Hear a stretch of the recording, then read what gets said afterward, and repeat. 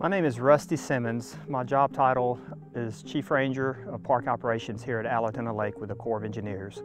I oversee the management of 21 of our parks, um, which seven campgrounds, 14 day use areas, oversee special event permits, our educational interpretive programs, our sign program, and our navigation aid program. I decided to work with the Corps of Engineers because I like the ability to be outside. I enjoy nature. I enjoy the uh, natural resources and the management of them. I enjoy working for the Corps of Engineers and continue to stay with the Corps of Engineers because I enjoy the variety of work we do, the programs we do, and I love the relationships I've developed over the years with numerous people. It's a, a symbol of trust. The public looks at you as uh, someone that they can come to. You're out there to help people, you're out there to solve problems, and you're out there to make everybody's experience a, an enjoyable one.